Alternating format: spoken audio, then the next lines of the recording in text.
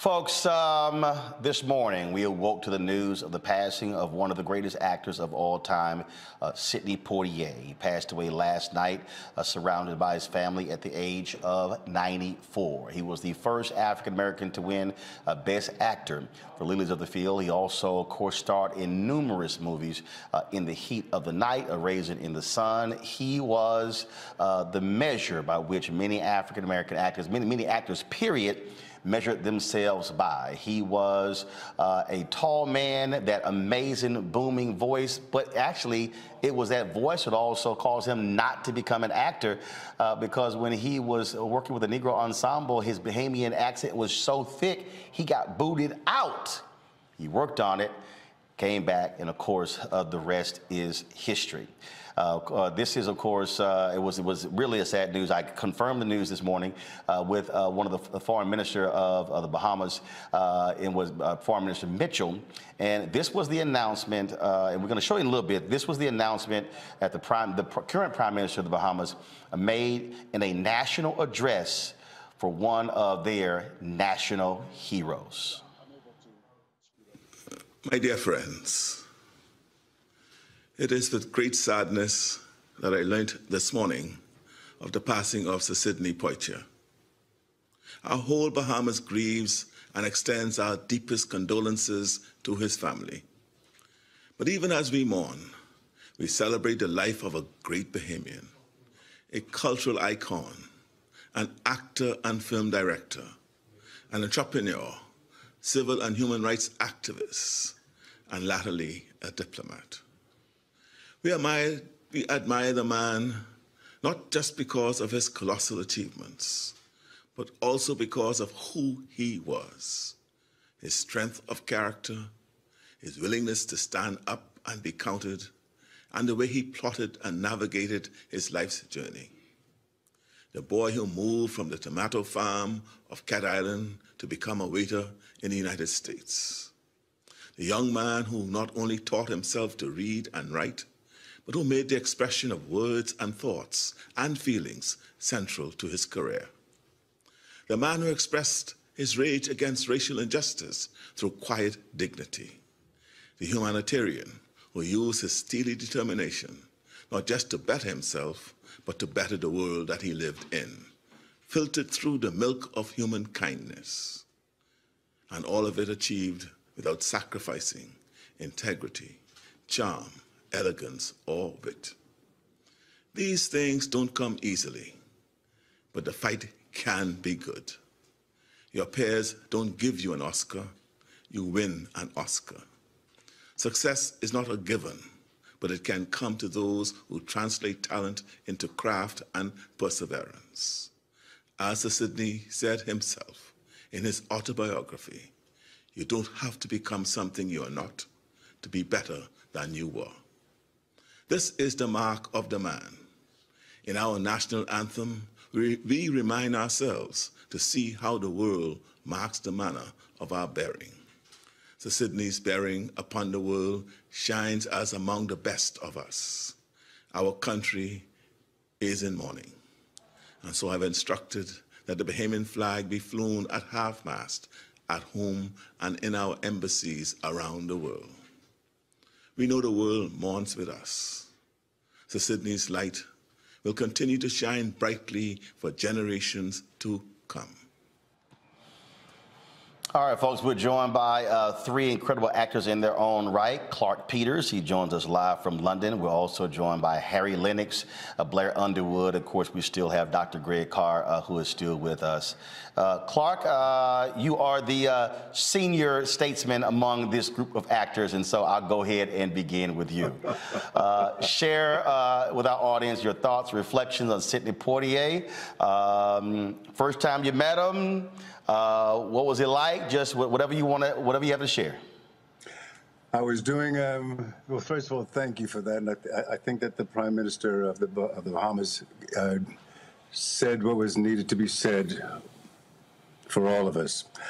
Um, I'd not been in the States for many years, and I was, my first job back there was in 1998, I believe, and I was doing Iceman Cometh.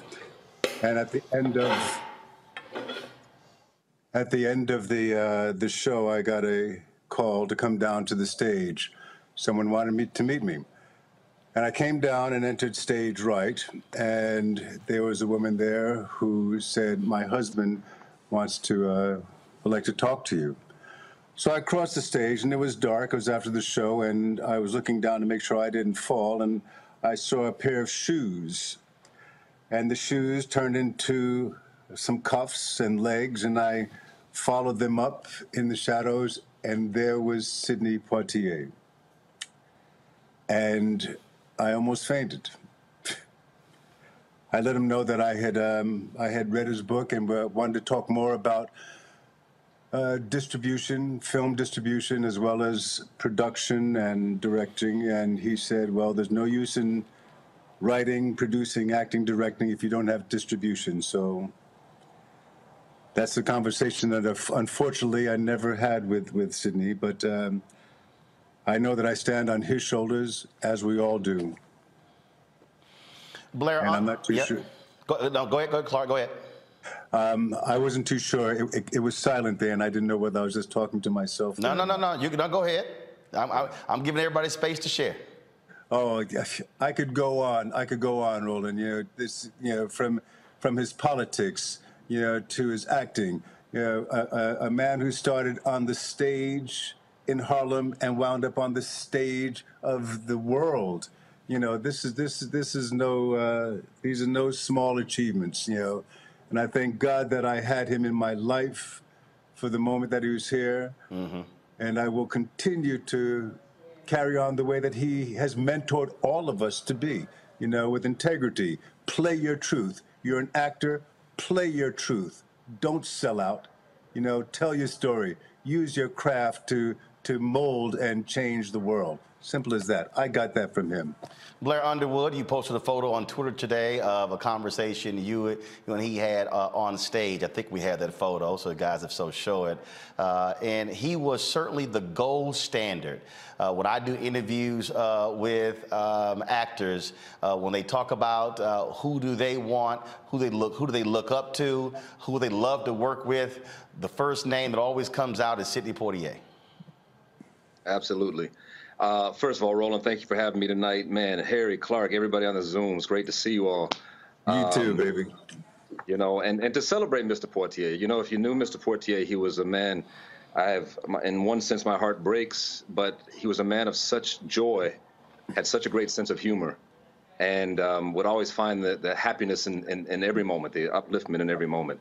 But, um, but you're right, that quote you're referring to, he said to me years ago, um, he signed in his book, his, his memoir, he said, you know, I expect twice as much from you than I did from myself because you are better prepared. He said, I had an accent I had to overcome. Um, the opportunities weren't there uh, at the time, so I expect that much from you and more. So I, I carry that always. You know, I, I, as I said, I, I hope to to make him proud, and he was there. You know, I love hearing Clarke's story because that's how I met him. The first time I met Mr. Poitier was on a plane ride. It was my first week I was doing LA Law. It was in the 1980s, and things were opening up career-wise. And I had left college, and I had to write a final thesis. Uh, to so my three years out in the world would serve as credit uh, for what I that year and a half I missed at school. And I was going to spend that plane ride from New York to Los Angeles writing that thesis. And as God would have it, I walked, you know, on the plane. I turned the corner, and like Clarke said, the first thing I saw were these these feet. And these, these, these long legs, and this tall, elegant man was sleeping, and my seat was right next to Mr. Poitier Wow. for those five. That thesis ended up being this five-hour conversation with Mr. Poitier, and and he'd just been there every step of the way, every part of my career. He'd been there. I, I did a one-man show once, 99 seat theater, and he was there on the front row. But like like Clarke, Clarke said, he mentored so many of us from afar and intimately. You know, for him to take the time after his show to say, "I want to see you," you know, tell his wife, I, "Please, I, I want to meet, see and meet this gentleman." Um, I am eternally, and so many of us feel this way, just grateful for his his uh, his his humility and selflessness. Harry Lennix, you are not a small man. You are also a rather tall, big brother. Uh, and when you when you when you when anyone who met Sidney Poitier, I mean, when you talk about a people talk about stature. But he was a tall man. He towered over people. He had stature. presence. Well, yeah, you cer- certainly. I mean, in, in, in bucket loads of it. Uh, but what an honor to be able to, to, to, talk about him. I didn't have the, the great experiences of a personal connection like Brother Blair and, and Brother Clarke. But I actually, the first time I ever saw him in person, he was somewhat older, you know, and uh, I was in awe. I sort of didn't want to get to, to uh, know him in the sense that there could be no greater impression that I would have of him, you know, like, so, so anything, I just remember him in every aspect of my life. Like, without Sidney Poitier, I would not be an actor. Uh, and I mm-hmm. wanted to sort of keep him in that sort of distance reverence, just because I knew that there was no higher esteem that I would ever uh, be able to hold him in. And he was always this icon that I that I revered. Um, you know, I, I, think about all of the the credit that he gets for what he did off screen, but what he did on screen can never really truly be equaled. That is to say, he was the first, perhaps to this day, the only person who embodied the ethos of the time. I mean, he was the icon of the civil rights movement. He was the, uh, the, the sort of aspirations of black people in the American experiment. He didn't have to say anything other than he ever said uh, off screen uh, every or, off stage. Everything that he did on there was the very epitome of the hopes and dreams of the people. And so, you know, I mean, there's there's really no way to get around him. Uh, I, I, don't think he uh, is a titan. Uh, he cannot die. You know, he is an indelible part of of, uh, of the American fabric of, film history. There's nobody like him. There will never be another person like that. There can be no sort of reinvention of the wheel in that way or putting the toothpaste back in the tube. He did it just by uh, what he represented through his vocation. I'm gonna do one more round with each one of you. We got tons of people who we have booked on the show, but but I want to play this. This was uh, a news conference where Sidney Poitier, at his best, chastising uh, the media for placing him in a box. Uh, Clarke, I want you to respond to this after we play it. Watch this. There are many aspects to my personality that you can explore, I think, uh, very uh, constructively. But you sit here and ask me such one-dimensional questions about a very tiny area of our lives. You ask me questions that fall continually within the Negro-ness of my life. You ask me questions that pertain to the narrow scope of the summer riots. I am artist, man, American, contemporary. I am an awful lot of things, so I wish you would uh, pay me the respect due and not simply ask me about those things. That was 52 seconds of brilliance, Clarke. You know, the world doesn't begin and end at the Atlantic and the Pacific coast in America. The world and artists and our artistry is bigger than all of that. And not only should the flags be at half mast on that island, they should be half mast across America. And when America can rise to, can raise itself to the, to the level of integrity that Sidney is addressing here, then we might be somebody. But right now, they still need to be chastised the way that Sidney has chastised them in that interview. Blair?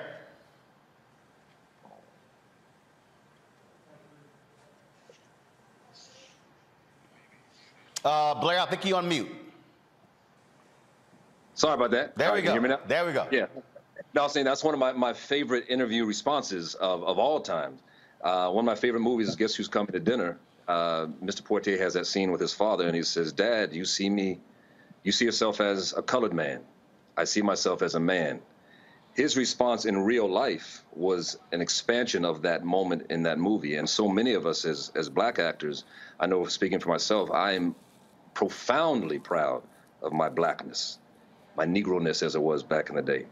Um, profoundly proud of that. But I, I will be damned if I'll let somebody limit me in the roles I'm allowed to take or the roles we will create, the stories we're able to tell by just promoting me as a black man. We are men, we are human beings that are black, and that is not to be taken off the table. I, one of my the, the phrases I hate the most is colorblind. I don't want you to be colorblind. I want you to see my Negro-ness, my blackness, but in but beyond that, there is our humanity. And he spoke to it so eloquently in that moment. It's as relevant today as it was then. Harry Lennix, he is, he is not limited to acting. Uh, he was a director. Uh, he was an activist. Um, uh, when it came to the work in the civil rights movement, but he also was a diplomat serving uh, as ambassador. Uh, and so uh, Sidney Poitier was a Renaissance man. He just did, he wasn't just in front of the camera. That's very true. I think he falls, you know, he was sort of the natural uh, predecessor, successor, I should say, of, of, uh, of, the great Paul Robeson, that is more than an actor. But, you know, I think, I think whatever, you know, the, the, uh, the anger that he had in that moment at, at, that particular time. He achieved what he wanted. I think that now people do see him as all of the, you know, what he's asking for, clamoring for, really, in that response, he achieved. And, and I think that that's uh, that's probably the greatest tribute that we could pay to him. It's very interesting. Brother Clarke was talking about. He said, without distribution, you know, uh, you, you, know, what's the point of doing all of these things? And I, I'm reminded of the fact that, you know, even there, he had achieved already in some measure those things that he is and was then instructing, instructing and mentoring us to do. He was one of the, the, the he was a member of uh, United Artists, you know, for example.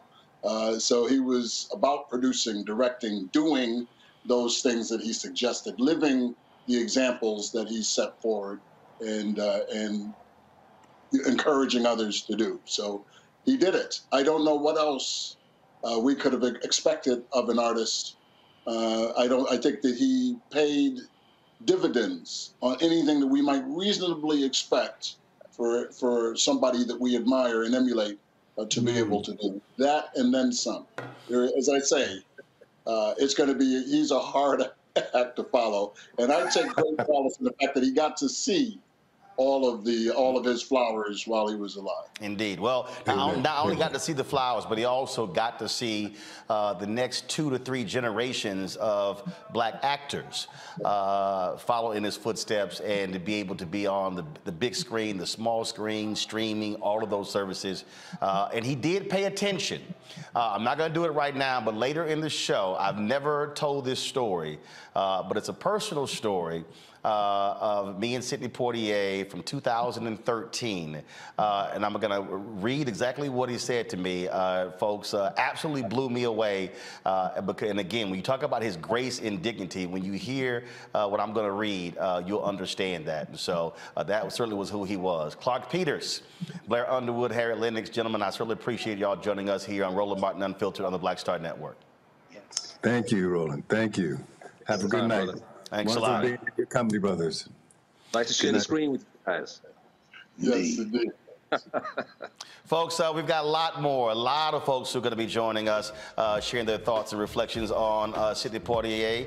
Uh, when we come back, we'll talk with Clifton Davis, Glynn Turman, and also show you when President Barack Obama awarded the Presidential Medal of Freedom to Sidney Poitier in 2009 at the White House. You're watching Roland Martin Unfiltered as we remember the great Sir Sidney Poitier on the Black Star Network.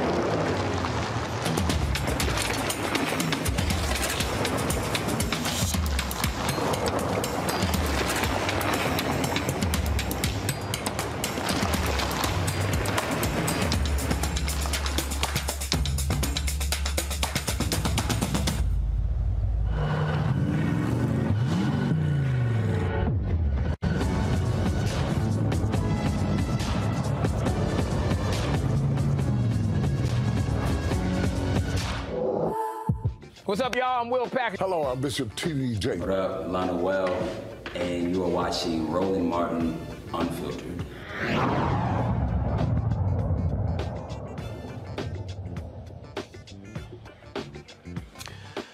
Folks, we reached out to a lot of people today who want to share their thoughts and reflections uh, about Sidney Poitier. Uh, many of them could not join us because they are on projects, they're traveling.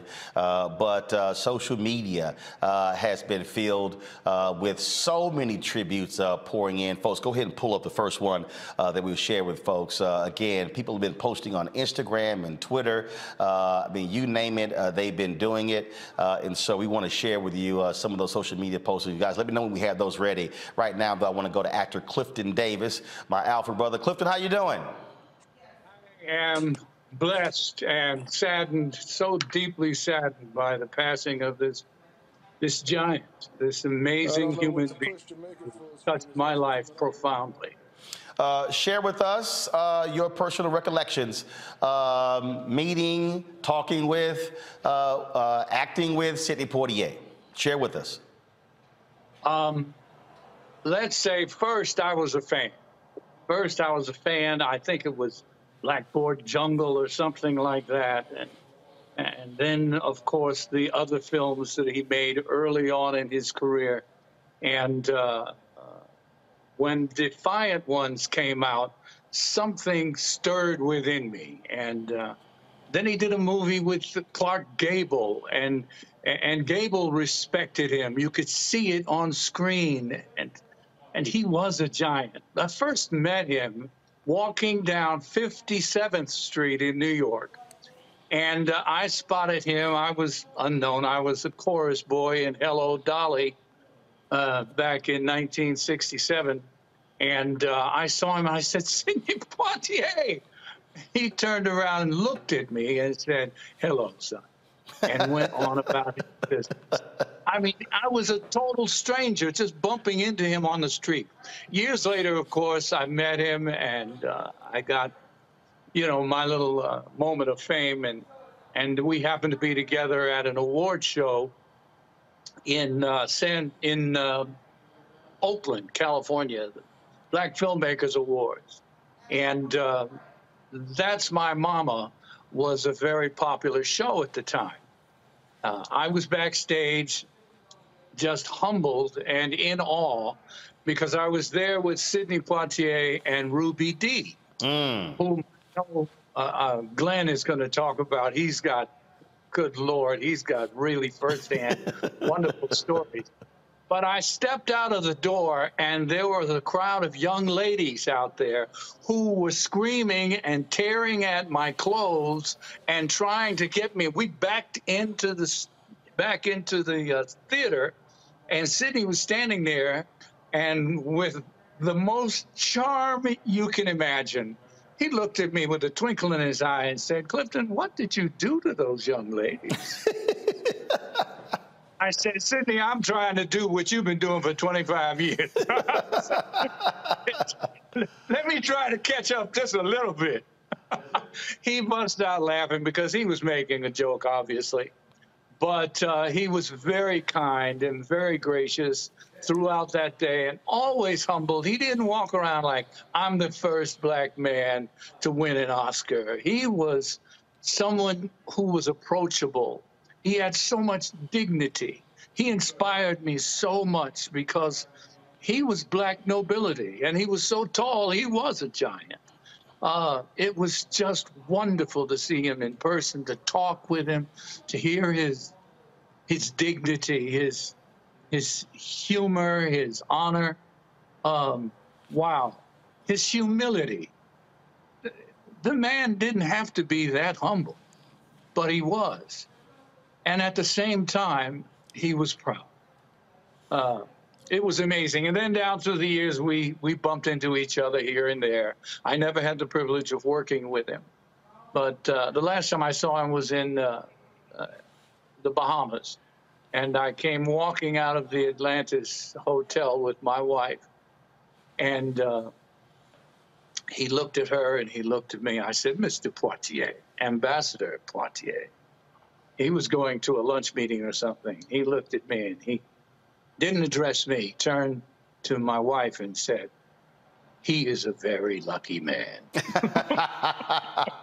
and we will, we will, have always been lucky uh, to be able uh, to touch the greatness uh, and spend uh, just a little time with uh, Sir Sidney Poitier. Clifton Davis, I know you're busy on the road with Wicked. I appreciate you stopping by and sharing with us uh, your thoughts about Sidney Poitier. Thank you so much. Appreciate- I'm going to miss him. Appreciate it, Frat. Thanks a lot.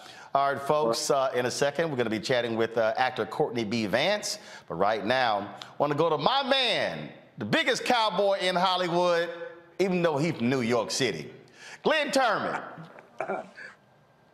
Glynn, how you doing? baby? How you doing? I'm good, man. How you doing? I'm doing great. me? I can hear you. You know, one of the first things I thought about this morning when I saw the news and I called the uh, the, the Minister of Foreign Affairs in the Bahamas who confirmed his passing. Uh, when we talked, you were like, Sidney, Sidney. I mean, and it's like, you, when, you, if you, if, if, when you say Sydney, there's only one person you think of. You don't think about Sydney, Australia. You don't think about, you think of Sidney Poitier. Sidney P. He's the man. That's right. Always will be in my book. You know, I, I, I, first of all, I'm so heartbroken. You know, so heartstrucken with this this this news. You know, because I kind of thought he'd live forever. You know, and '94 is a good run. Yeah. You know, any any way you look at it. You know, and my heart, of course, goes to the family who I've already put in a call to, but I haven't spoken with yet. You know, um, especially uh, his his daughter Pam, because we grew up together from uh, as teenagers when I was doing a Raisin in the Sun at the age of 12, 13. Uh, so she and I are about the same age, and I look forward to speaking with her. But uh, she was always considered my. We considered each other play sister and brother. You know, we we were that that close as a result of my working with him at, on Broadway in A Raisin in the Sun.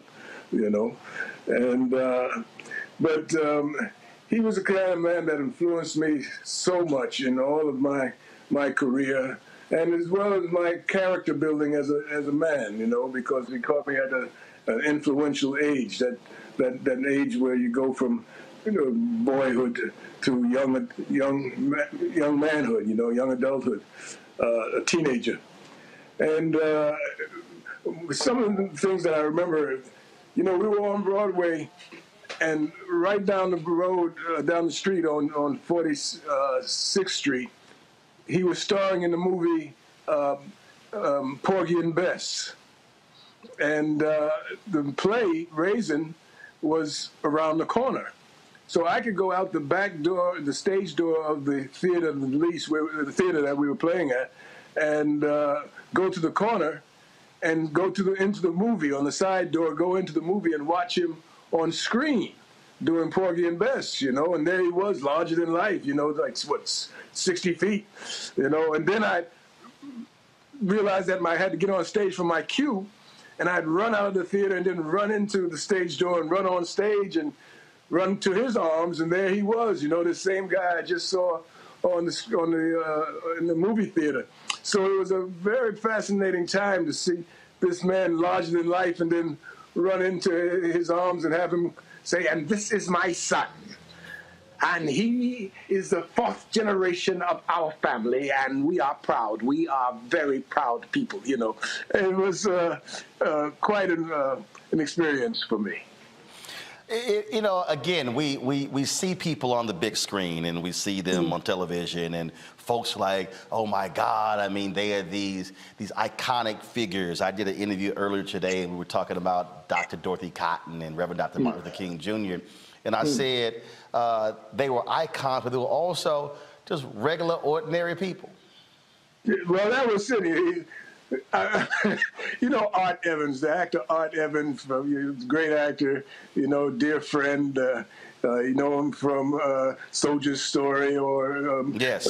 Uh, Die Hard, and we used to run into Sidney at uh, a park here in Los Angeles called Poinsettia Park. This was back in the day, and Poinsettia Park had a, a, a tennis court, and we thought we could play tennis. Sidney could play tennis, but we thought we were better than him.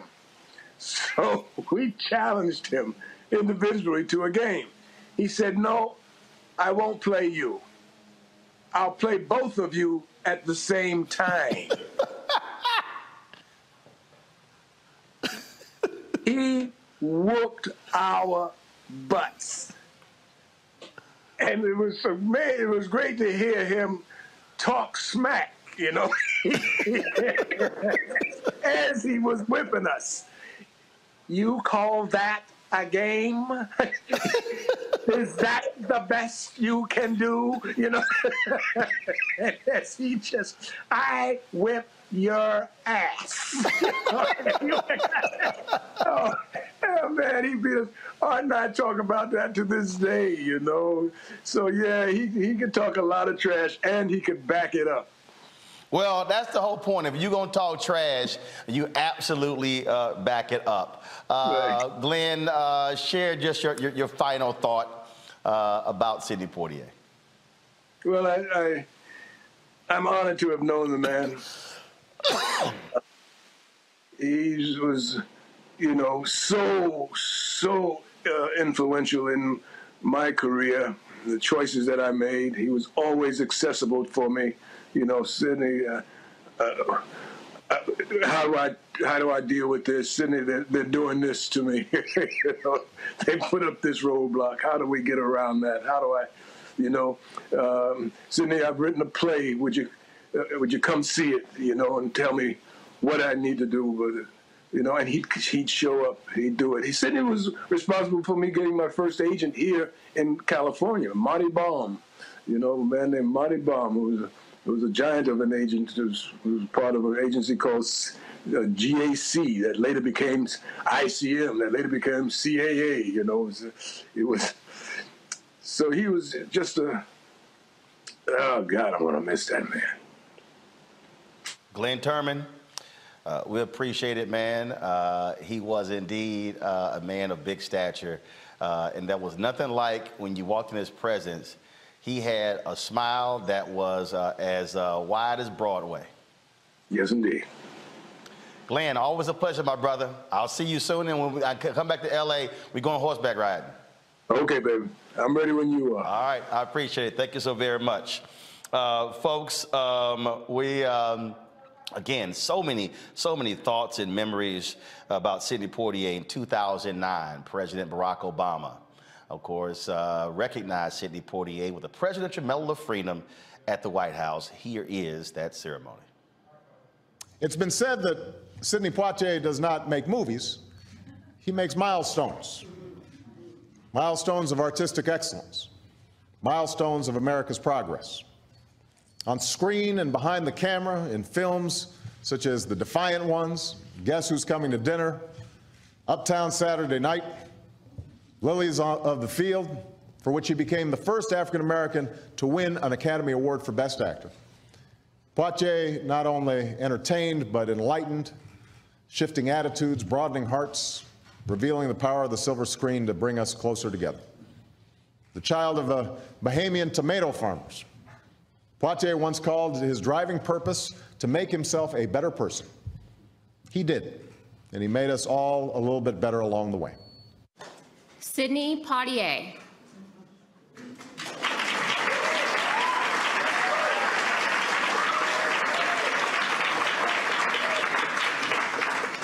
Ambassador and actor Sidney Poitier has left an indelible mark on American culture. Rising from the tomato farms of the Bahamas, his talent led him to Broadway, Hollywood, and global acclaim. In front of black and white audiences struggling to right the nation's moral compass, Sidney Poitier brought us the common tragedy of racism, the inspiring possibility of reconciliation, and the simple joys of everyday life. Ultimately, the man would mirror the character, and both would advance the nation's dialogue on race and respect.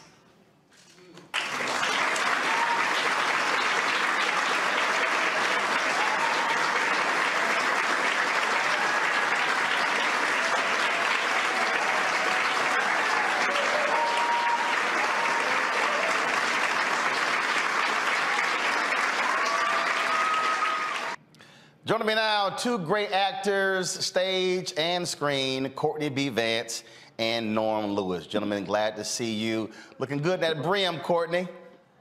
Thank you, sir. Thank you so much. Thank you very much. Uh, Courtney, I want to start, I'll start with you.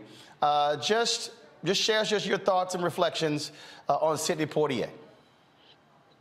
Well, you, we, we, we miss him. We, it's been, he was 94. Um, I, I, you know, we, we, oftentimes we don't realize that we're, we have angels in our midst and, uh, he was that, you know, and when, when he was in his prime, uh, we we saw him, and a lot of times we thought uh, in the midst of the Black Power movement he wasn't doing enough.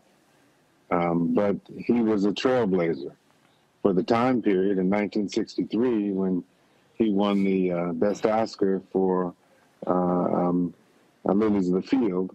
He was the number one box office in the world, number one star, box office star in the world. And we were so proud of that. But five years later, when the Black Power movement happened, uh, we were ready to push him aside. Um, and but that's the way of the world. He he is he was who he was. He was the for for the time period. He let he made us stand up taller. They call me Mister Tibbs, and when he slapped that police officer Rod Steiger, and when the Rod Steiger slapped him, he slapped him right back. That's that that was a revolution. That was a revolutionary movement. That was a revolutionary event. And that cannot be taken away. You can't look at things from 2020 2022 eyes and go oh yeah he was an uncle tom whatever. No no no he was a trailblazer he always was he always will be and we have to recognize that that he was an angel then and he is and always will be an angel for us. He is as tall as Nelson Mandela was, as as Obama was, is, um, as Ossie Davis was, as MLK was. He was uh, a, a, trailblazer. He was an, an icon of epic proportion. And in fact, Norm Lewis, uh, mm-hmm. Reverend Dr. Martin Luther King Jr. talked about the importance of Sidney Poitier and his representation on screen to the Black Freedom Movement? Mm-hmm. Well, for me, I just, you know, like Courtney B was saying, it was revolutionary to see him slap this white man at such as, as a young black man seeing this because you know we didn't have those uh, a lot of those images and uh, you know to see him in the movies to serve with love um, and to deliver these these artistic uh, events with such grace and such honor you know he wasn't uh, kowtowing to uh, what the the man was, and so he was definitely an inspiration. And I'm glad to. Um, you know, to have actually gotten the chance to meet him. I, I, I, didn't know him that well, but I got to meet him a couple of times, and he hugged me and gave me his grace uh, of being an actor. He was like, "Good, you know, you're you're gonna make it." And so maybe that from his touch, I have done uh, pretty well. Courtney, he often also talked about the weight that was on him um, having to represent literally an entire race. We can't we can't overlook that as well. No, no, and and we'll never understand it. No one will ever understand what that generation of of trailblazers went through. Uh, Ossie Davis, Ruby Dee, um, the Negro Ensemble Company, when there was no one else to look up to and they they they set the path, they set the standard, and and for that. Uh, they they were there was a great deal of, of stress and a great deal of weight on them that we can't appreciate. And, and much like MLK, when the world passed him by uh, after uh, he came out against the Vietnam War, uh, he was as as uh, as um, uh, um, gosh, uh, his right hand man, Andrew Young. Yes. Andrew Young said he was better off dead. He was so depressed yep. about the yep. fact that the world passed him by. And and I'm sure Sidney felt the same thing. He saw the writing on the wall that he was no longer going to be the first go-to black person. There were the world shifted. Denzel of the Denzels of the world came up. There were other actors. There were more you know, effective spokespersons for the time period. And that's something, that's just the way the world goes and works. And he understood that, stayed tall, did other things, directed. Bill Cosby and he um, did did some wonderful things that uh, that that lifted us up.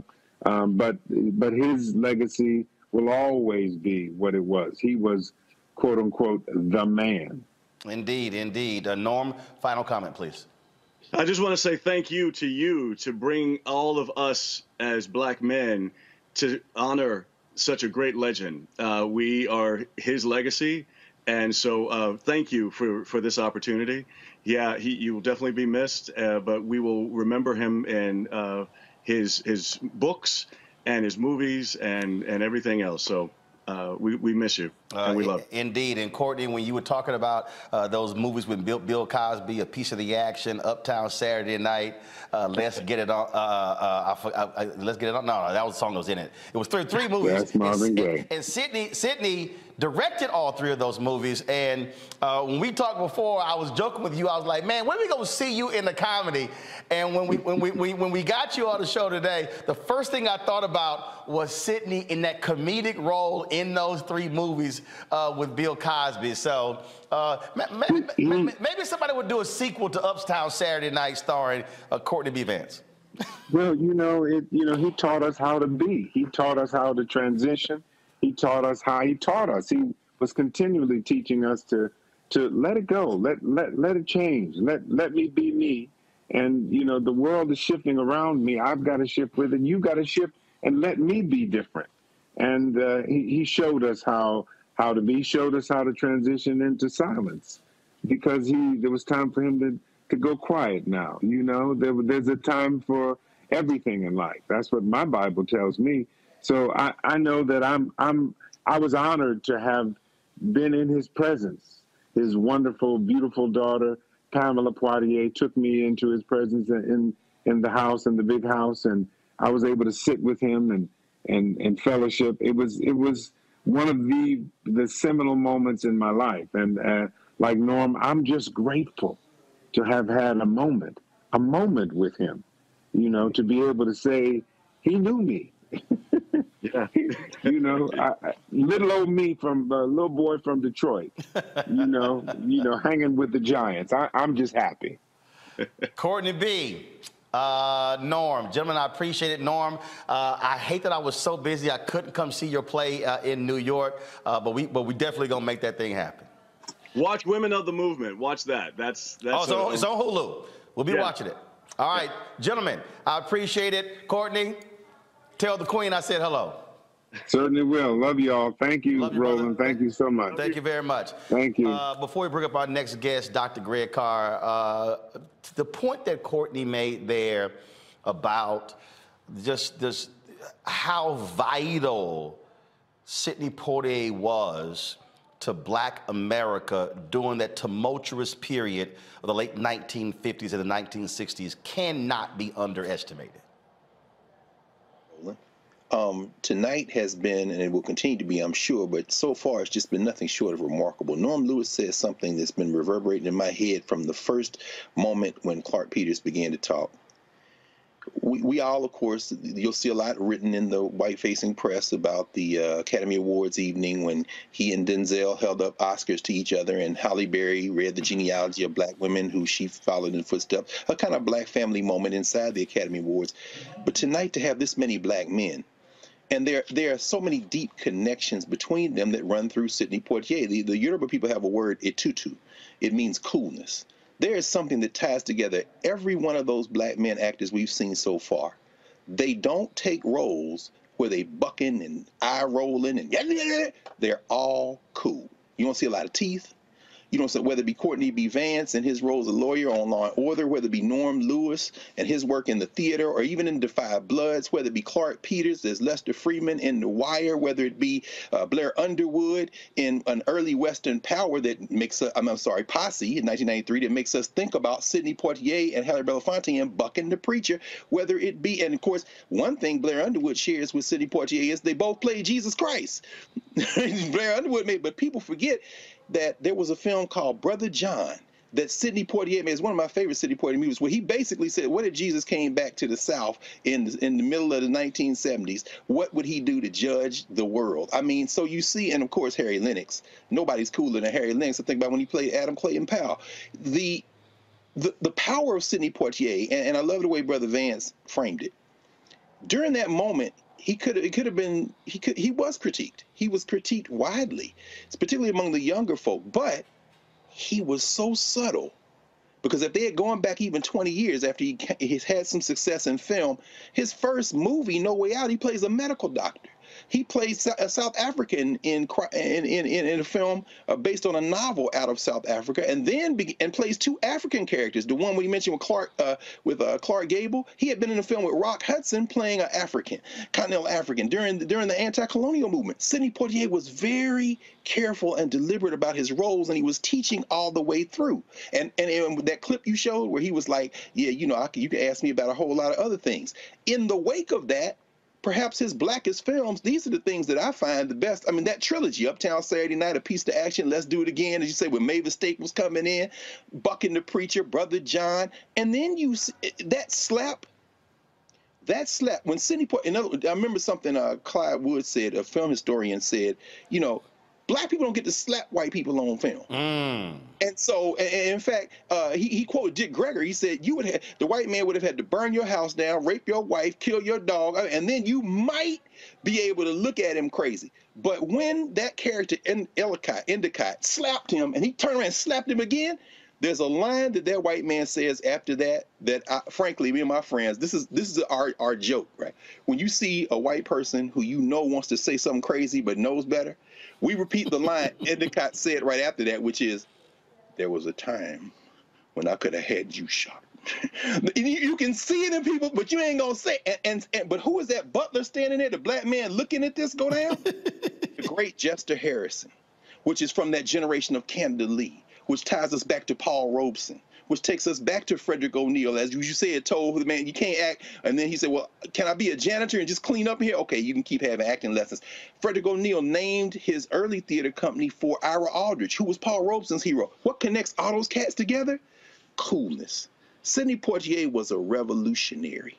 He was a revolutionary because he never allowed himself to portray who we are to the world out of pocket with a stereotype. And every actor you've had on so far, Roland, if we think about their roles, none of them have either. And that's a testament to him. And of course, Denzel and the rest. Now, um, not everybody on the show tonight is a brother. I've invited a lot of sisters. People have been very busy. They're acting. Sure. Uh, Debbie Allen, my fellow Jack Yates alumnus. Uh, she, of course, she choreographer, act, director, actress. She a Renaissance woman herself, and of course, y'all, she had that killer speech at the Emmys when she was just uh, honored. Uh, Debbie, it's always good to see you. Thanks for joining us to share your thoughts and reflections on the great Sidney Poitier. Thank you, Roland. Nice to be here and a cause of celebration and honor. Take it away. Just, just share what you want. What, what's on your mind?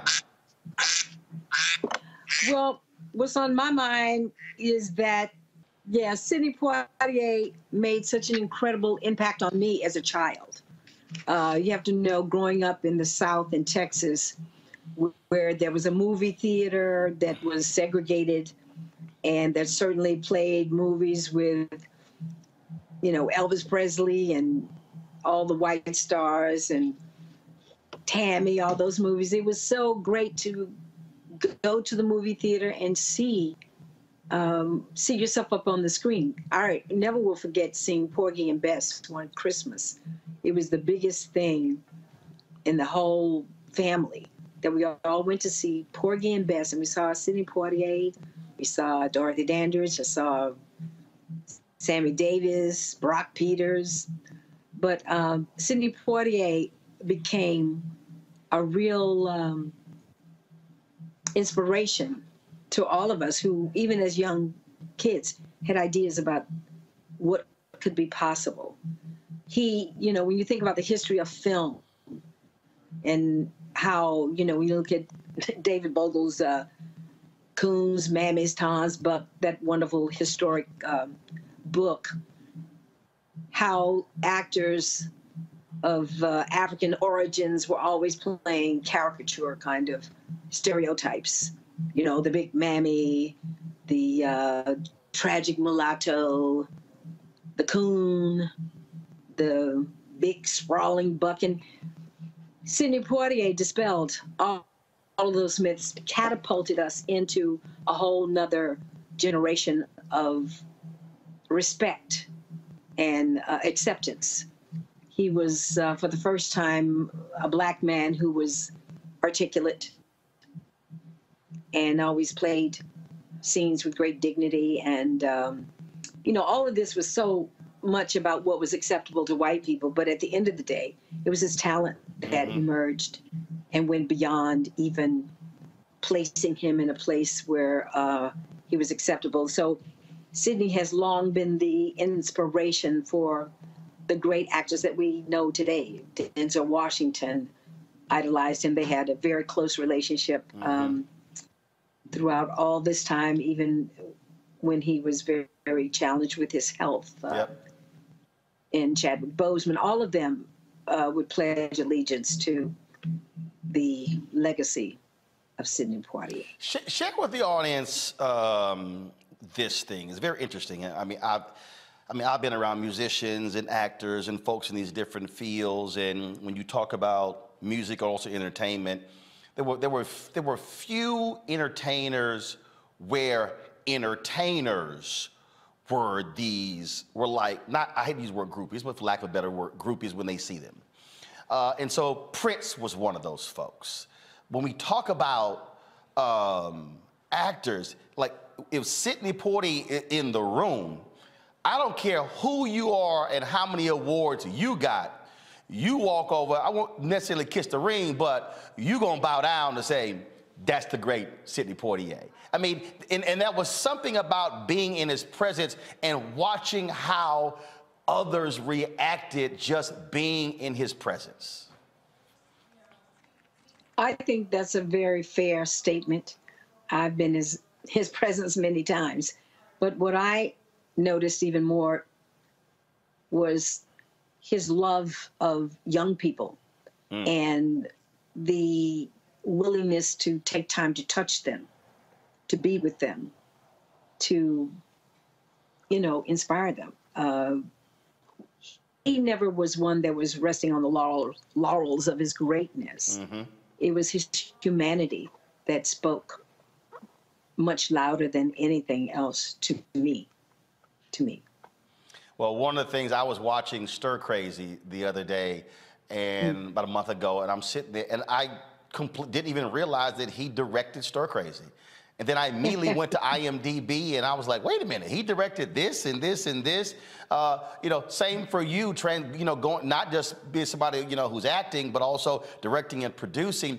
That was all. I, I just literally never, it never occurred to me that Sidney was also directing. Well he was a, a man of many means and such great talent which is so uh, it'll be a time right now where people will start. I just taught my middle school class and i changed the whole um, curriculum today to be all about sidney poitier the legacy of black people in film and why young people need to not just see everything as what it is in the moment, but look back as to how did this happen, where it is right now, and where might it go, because they are the future. So we spent the day today, and I'm talking about 10 and 11 year olds who don't know who Sidney Poitier is. So we spent the whole afternoon. I played excerpts of To Serve with Love, which I thought would relate to them. I, I played excerpts of Porgy and Bess. Um, all of these things. Um, you know, this is going to be a time for us to educate a lot of young people, um, not just what we remember, but also teach them the history and how do we get to a Denzel Washington? How do we get That's right. you know, to the next Chadwick Boseman or to the Michael B. Jordans of the world. How, you know, Mhm. where where do where do where is their inspiration? Indeed. Debbie Allen, always good to see you. Always good to chat with you. Please tell your sister, uh, fellow JY grad uh, Phylicia hello, and also my man Norm, tell him what's up as well. I will, and thank you for this conversation. It's very, very meaningful and valuable. Debbie, thanks a lot. Take care. Okay, bye. Folks, Sidney Poitier was not just an actor, director, humanitarian. He also was a diplomat. Uh, he, he served as ambassador to Japan for the Bahamas. So joining us right now is someone who knew him quite well, and that is the former Prime Minister of the Bahamas, Perry Christie. Uh, Doc, how you doing? Oh, I'm doing fine, Roland, and I can tell you that as a result of listening to your program, I am now very, very pleased that we gave Sidney Poitier as a gift to the United States of America and to the world. Everything said today demonstrates how wonderful his impact has been. A great source of inspiration, not just to the United States, but to countries like ours. And particularly when I think back of him, that if you look at the 50s, when he did the film No Way Out, acting as a doctor, faced with bigotry, describing by his performance the ugliness of bigotry and demonstrating a very, very 21st century way of dealing with it and allowing us to know the level of dignified presence he had. So I'm so happy, my friend, to be able to pay tribute to Sir Sidney Poitier because he was a Bahamian who was an exemplar, an exemplar for the world. And the final point I'd want to make about him is that to all persons who have some question as to what they could become, they despair because they've had little education. Sidney Poitier's human experience must stand as one of the greatest sources of inspiration to all who would wish to achieve something for themselves. Starting in very humble circumstances on an island in the Bahamas, working at a time where he had to teach himself, work in menial jobs, it is unimaginable that he could have dreamt of becoming an actor for all it took. Yet he did it, he achieved it, and he achieved a level of magnificence. So this to me is the greatest asset for all of us that we should preserve. Someone whose journey is so enriching, so powerful in its reach, and so meaningful in the way that he was able to do it, notwithstanding inhospitable conditions, racial bigotry that he had to overcome, and to do it with dignity, using his, his, his charisma, and most certainly that character that shone through. And I can tell you, sitting in his home, surrounded by books in Los Angeles, and I said to myself, here is a man who had to teach himself to read, and he's now become an author. Here is a man who, when he speaks, you almost feel like eating his words. He speaks so properly, so firmly, so clearly. And I'm just trying to emulate um, when he sat in my office and we spoke, how, how extraordinary his impact was. And, and as has been said, he walks into a room and his presence is magic. I, we owe so much to him, not just in the United States of America, not just in the Bahamas, but the world. In fact, uh, a Bahamian uh, television network uh, ran this package from a few years ago. Uh, you and others were on your way returning from China. Y'all stopped, had a long layover in Los Angeles, uh, and uh, y'all went to the home of Sidney Poitier. he had a few words to share. I want, I want to show a bit of that. We'll come back, and I got a couple more questions with you. Y'all go ahead and um, fire that piece from the Bahamas when on the visit to Sidney Poitier's home. Bahamas to the next level through providing opportunities for the disadvantaged. The winner is Sidney Poitier. It is a long journey to this moment. I am naturally indebted to countless numbers of people and just like that, Sidney Poitier became the most decorated black actor on the international screen, etching himself into the history books of film and television. Later in his career, he would shed light on the Bahamas as a place he called home and where he grew up on Quaint Cat Island with his Bahamian parents.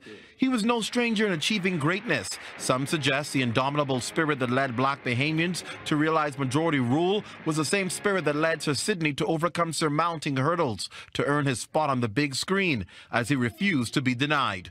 And while many argue where he actually got his start in theater, one thing is undeniable. The break he received while carrying out a mediocre task in the U.S. proved that his undeniable talent and love for the cameras could no longer be ignored. They call me Mr. Tibbs. The Bahamas continues to celebrate Sir Sidney Poitier's legacy, hailing him as a hero and example for Bahamians to follow. It was no surprise that during a layover visit in Los Angeles, while traveling back from China, the Prime Minister and his delegation visited Sir Sidney at his Beverly Hills home. It's a visit one can remember for a lifetime. And though he's aging and experiencing challenges with his health, Sir Sidney's voice remains uninterrupted, sustaining the same sound and the same wit that made him famous. Sir Sidney Poitier, despite his many world-class accomplishments, still has an insatiable desire to impart his knowledge to the young generation of Bahamians. What I say back to them is what I dream of saying back to them, that I would love to always spend the rest of my life in their presence. Sir Sidney's advice to Bahamians is simple but profound, indicative of his undying love for country. All I could say to them is wherever they go, whatever they do, they must remember that they come from one of the greatest countries in the world. And while he's done sharing his on-screen gifts with the world, he's certainly relying on the next generation of Poitiers to fulfill that legacy. I have, I have 12 children, all girls. And that means I'll be spanking a lot of bottoms if they don't do as well as I expect them to do. Expressing his appreciation to have the high-level delegation visit him during the lengthy layover in Los Angeles from China, Sir Sidney welcomed the group to return in his usual witty fashion. I thank you all as friends and fellow human beings and fellow Bahamians and I'll be pissed if you all don't come back. And Clint Watson, ZNS Network News. Quite funny there, uh, Prime Minister Christie. Uh, he was, uh, again, someone who people thought serious in terms of how he carried himself, but uh, he uh, had a wicked sense of humor.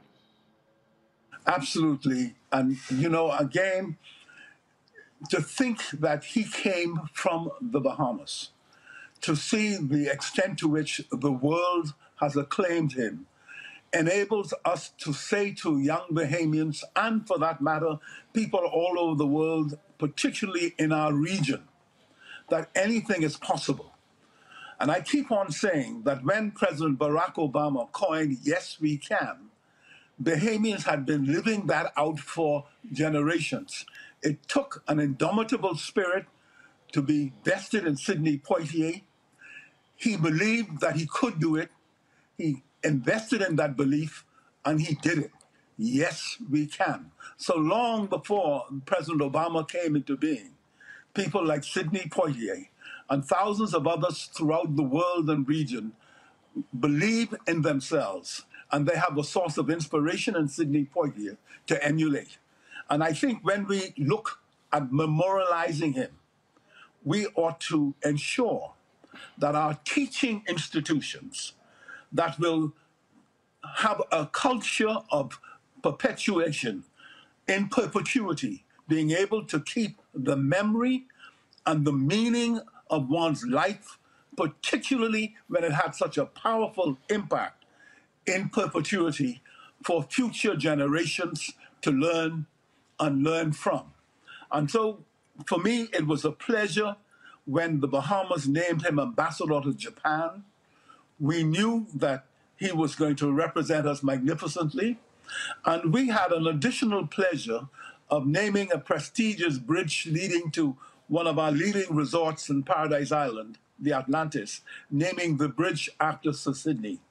And like our Prime Minister said in his broadcast today, that the government will be giving consideration to further research on the best way to memorialize and to ensure that future generations, not only of our country, but of the world, come to understand that the journey of Sidney Poitier, or Sir Sidney Poitier, was one in which that could be emulated and shared by millions of people worldwide. He gave us a sense of pride. And Roland, I went to see, as a law student in London, I went to see Guess Who's Coming to Dinner. And I left that movie theater feeling inspired, feeling uh, a sense of satisfaction that I had seen a man who never compromised on his blackness, who was prepared to demonstrate a level of dignity in the face of severe questioning, who understood who he was and was able to communicate that in the film. And so his magnificence as an actor was only reflecting what we have come to know were his personal values and what his personal beliefs. Sidney, much to his credit, was able to take his personal beliefs and have them enshrined in all of the diverse parts that he played in the movies. One final point. I honestly believe when we look at what happened in the Bahamas, where we had a march to majority rule in 1967. Up to that point, we had a minority government running our country. Sidney Poitier was here to inspire the new government, to inspire them in their campaign, and to celebrate with them when, for the first time in 1967, January 10th, 1967, when a majority rule government was formed in the Bahamas. That helped us on the road to independence because he also believed that we had to demonstrate as a country that we were capable of ruling our own affairs. And so the, the civil rights movement in the United States was a, was a source of, of reminder to us of what we should avoid, what we should not let happen in our country. And I can only say that the movies that Sidney Poitier did helped to shapen and strengthen the level of consciousness on the part of, of the Americans towards enabling them to understand in increasing numbers the rightness of the cause of Dr. Martin Luther King and all the others and all the other messengers who came behind extolling the virtues of equality before the law and equality in the United States of America. And that happened to be a voice and a message that the world must see, understand, and continue to work on and continue to enhance. Perry Christie, former Prime Minister of the Bahamas, always a pleasure to see you and chat with you. And I can't. But you must come back to the Bahamas. I mustn't let you go without saying it's better in the Bahamas and we need you back here. Every time we talk, you you will sail the Bahamas to come back. Uh, Sigma Pi Phi fraternity Boulé actually has their uh, national convention in the Bahamas. It was supposed to be there uh, last year with COVID, but it's going to be there. So I will actually be in the Bahamas in July, but I'm going to try to get there before July.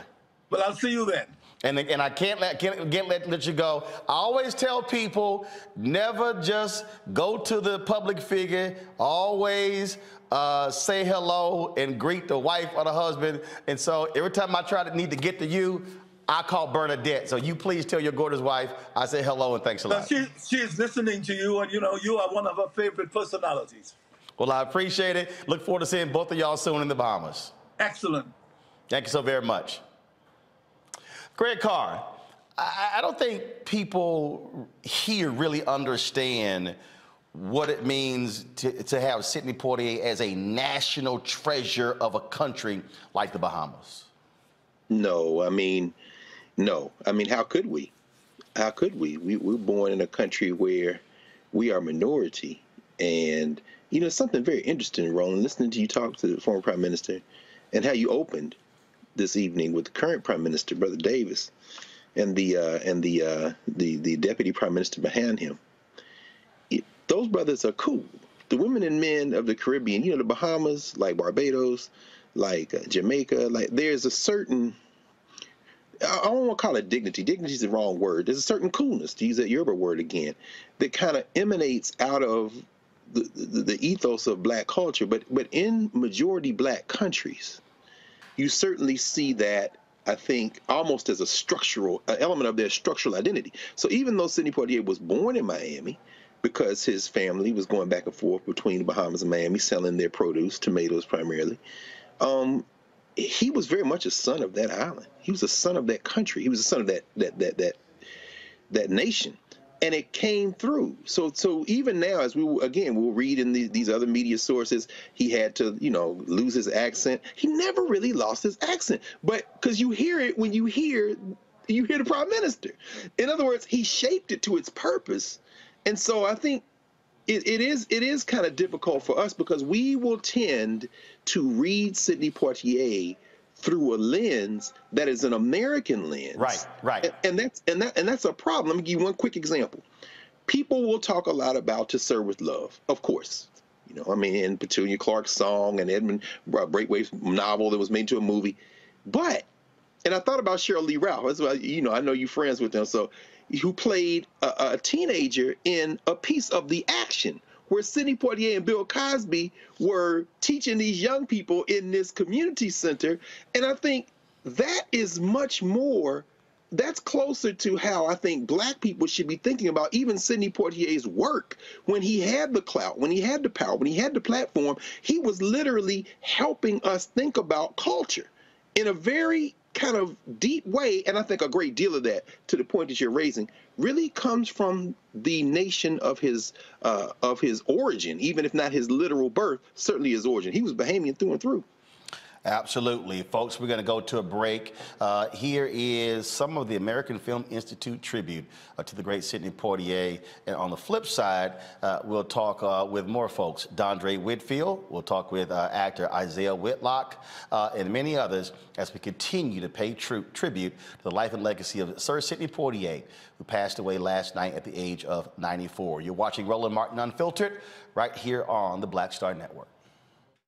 How possible was it then, in 1967, to make a film like that in America? It was close to impossible, primarily because the industry was not ready for such a film, you know? So it took a guy, Stanley Kramer, who said, I would like to make a film like this. Not because it's going to be sensational, not because it's going to be provocative, but because I'm a filmmaker in America and this is a part of America. It is a part of America. And if I use this format, I could speak to the humanity in people.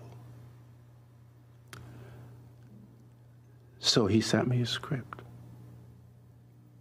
I read it and I thought it was a wonderful idea, terrific idea for the time scene with my dad, who had difficulties with what was about to happen. it was interesting for me because I have a dad, you know, a guy that I loved a great deal. And I had to use him as my emotional reference when I was speaking to my movie dad, played by Roy Glenn, fine actor.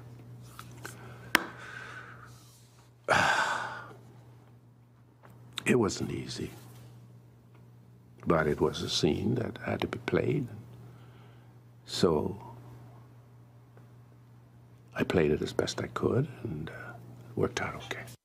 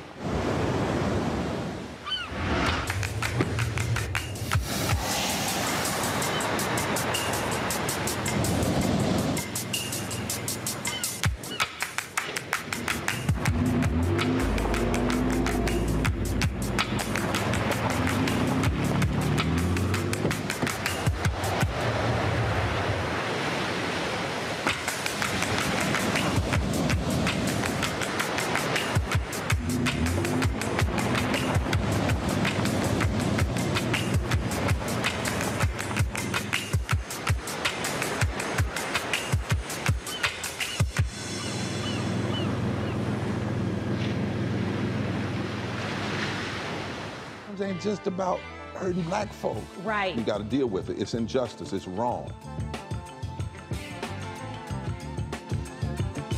I do feel like in this generation, we've got to do more around being intentional in resolving conflict. You and I process. haven't always agreed. Yeah. But we agree on the big piece. Yeah. Now, conflict is not about destruction. Conflict's going to happen.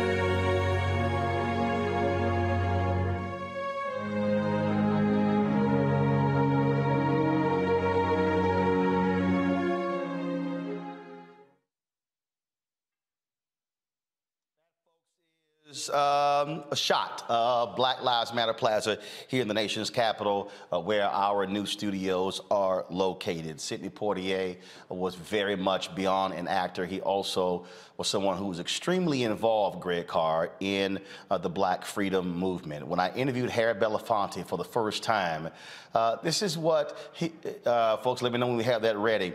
Uh, he shared with me uh, the, the role that, that, that he and Sidney played. He told a story of them traveling down to the South uh, to deliver uh, about fifty or hundred thousand dollars to, to free workers, Greg, in um, uh, in Mississippi, and uh, they landed. Uh, they were shooting at their plane and their cars as they uh, as they uh, as they were, were driving off. Uh, it was a high-speed chase, and they're in the back seat tossing back and forth. And when when when they arrived there, Sidney, Sidney said he, he said, "Man, he said I will never come with you again to anything like this."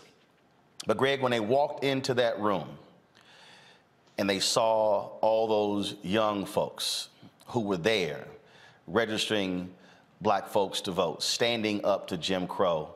Uh, Sidney remarked, and Mr. Mr. B talked about this in his documentary, his documentary, but also in his book. He said, uh, "This is one of the great things uh, of my life." He was very, very uh, uh, involved in raising money uh, for the movement.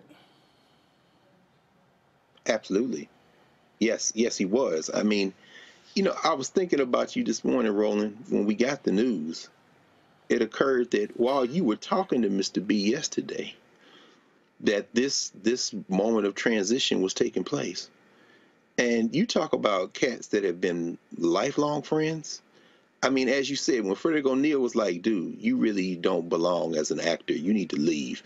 And Poitier talked him into letting him stick around at the American Negro Theater to, to be, you know, to clean up in exchange for act, uh, acting lessons. He made a friendship with Harry Belafonte. And of course, Belafonte, uh, who had family responsibilities, of course, young family at the time, didn't always make practices. And it was a practice that Belafonte missed that Poitier got his break because he was was Belafonte's understudy all the time. So that led to Anna Lucasta. He got to go on the road, and the rest was history. But I, but I raised that because they were they were they were more than buddies. They were brothers. And so when you're riding with your brother like that through Mississippi, and everybody knows now, at least people should know, of course, the role Harry Belafonte played, they raised money. So while folk are going to the box office and applauding Harry Belafonte and going to the movies, they are raising money. They are putting in their own money. When uh, Malcolm X was was killed, was assassinated, you know, Poitier, Ruby Dee, Ossie Davis, Harry Belafonte put money together to make sure Betty Shabazz and the girls had a place to stay. I mean, he didn't have to wear a sign. The people who knew knew. And his activism is a book called Stars for Freedom that talks about the 1963 March on Washington. And of course, we just heard the Prime Minister talk about a critical moment in the post colonial history of the Caribbean where Sidney uh, Poitier weighs in. Well, he's doing the same thing in the United States of America. Martin, for Martin Luther King, for the Southern Christian Leadership Conference, for these orders, for the Student Nonviolent Coordinating Committee, to be able to rely on a Sidney Poitier means more than any of us can ever know. And all we have to do, as you have done over the course of, of your career, is talk to the people who lived it. If you want to know the contribution Sidney Poitier made to the Black Power movement, the Civil Rights movement, you don't look for that in the books for people looking through archives. You go to ask the people who were putting their lives on the line what it meant to get money, to get contacts, to get protection, for him to say a word in a space. Sidney Poitier, yeah, it's hard to it's hard to even even describe the role that Sidney Poitier played in that movement. Uh, in fact, to understand how close those two are, uh, Sidney Poitier would have been 95 years old on February 20th of this year. Uh, Harry Belafonte's birthday is nine days later, March 1st, uh, when he will be 95 years old. Uh, this is uh, the, the, clip, some of uh, what uh, Harry Belafonte had to say in my interview with him several years ago that we aired on TV One. Book, you also offered some advice to artists. And you talked about their responsibility and how they have the voice, the platform to address these social, cultural issues. Assess this generation of artists, black or white, and are they as involved as you would want them to be on some of the critical issues facing this country and this world? From my perspective, by no stretch of the imagination can I say that the cultural community, the arts community, is anywhere near the, the, a commitment to doing things about changing the pain that exists in a lot of different levels socially. My mentor, Paul Robeson, once said to me that it was a great adventure that I and others were embarking on. So when I was quite young, uh, Ossie Davis and Ruby Dee and Sidney Poitier all listening to our mentor speak when he came to see a play that we were doing. And he said, you know, artists are the gatekeepers of the truth, are the gatekeepers of truth. And it is through you that people are going to be instructed about not only where they came from, but where we should be going. And I think if you look at great art, if you look at art that is in the service of social need, you'll find that the greatness of literature, the greatness of fine, the fine arts, painting, all those things came from men and women of consciousness who tried to better the plight of human beings. Uh, in that context, I've often looked upon the power that we have in what comes out of celebrity. Uh, when I first went to Japan to sing, and I found myself before 50,000 Japanese trying to sing the Banana Boat song, I really, I really understood power. I said, my God, here I am in a strange place with a bunch of people that I didn't know anything about except adversarially because of the war. And I said, here they were singing my song. Mm -hmm. And what do you do with this platform besides harvest money? How do you use this platform to impart a sense of our common humanity? And I think art that does that has been art that serves us well. And in my generation, we had a large number of people who stepped to the plate, whether it was Bob Dylan and Joan Baez, or it was Richie Havens, or, or it was uh, uh, Josh White, or it was Lead Belly. I mean, a litany of people. Sidney Poitier, all the actors of the period that did what they did. It's always about moving the human family ahead. And I think that artists have that power and they have the obligation to sending out information and to giving ideas and thoughts to people that will help enrich them and get them out of the quagmire in which we find ourselves. If we draw a line.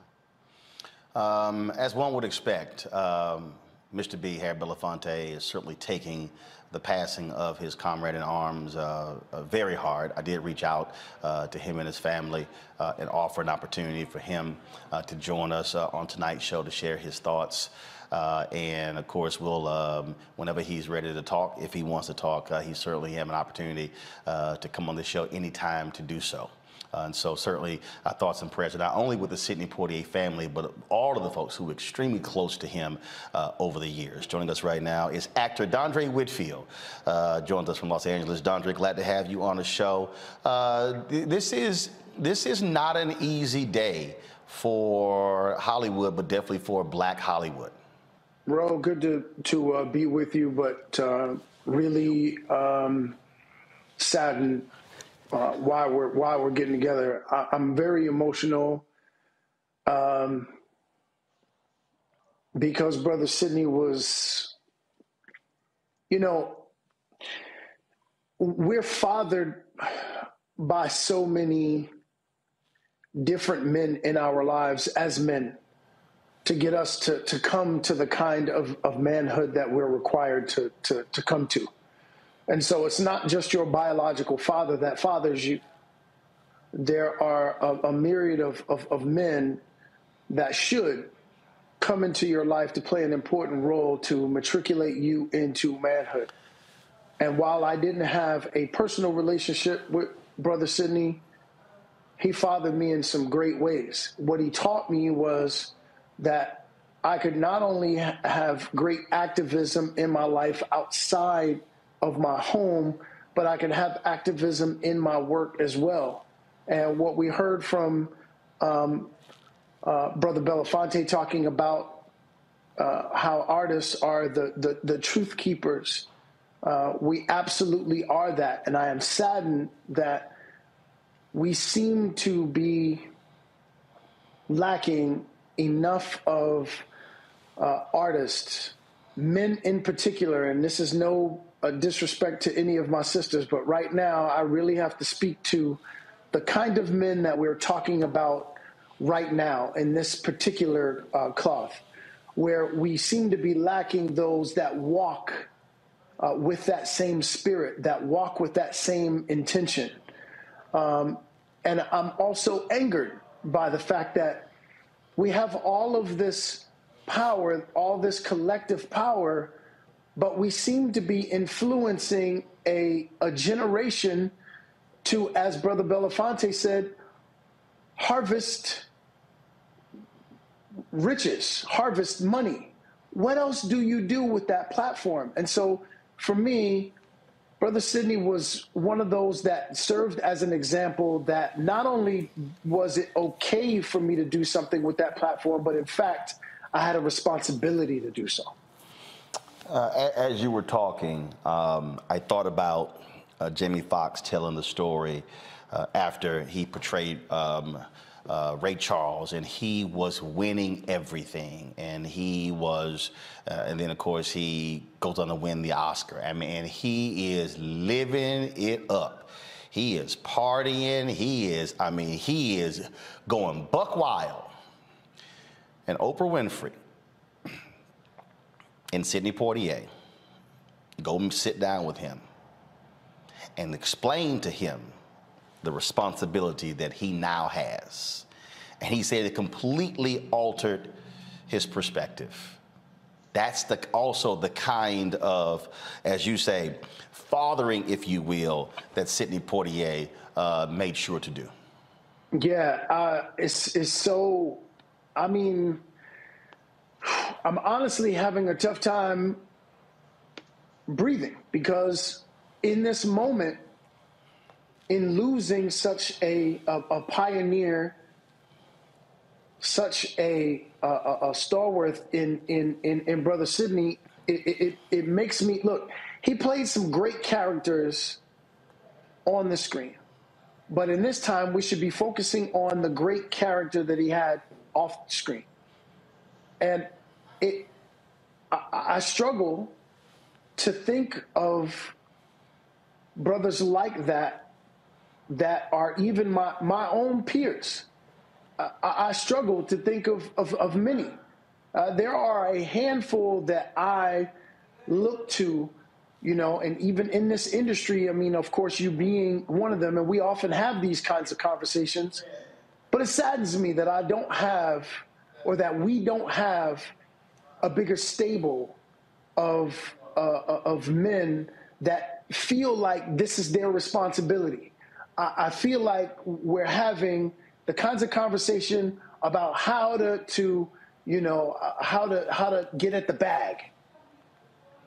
And and I hate those kinds of conversations because what it seems to suggest is is that our lives are really about how we garner more in order to, to get clothes and shoes and and jewelry and cars and and and and you know and make these live posts on Instagram about how we're living it up as opposed to how we impact the lives.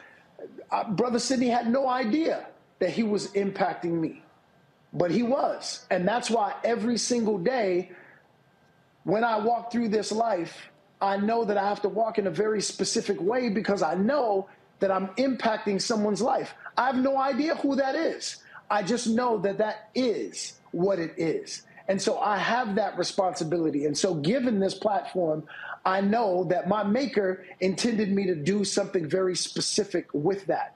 And and you know, I, have I've been asked on occasion, what's the greatest role that you've ever played in your life?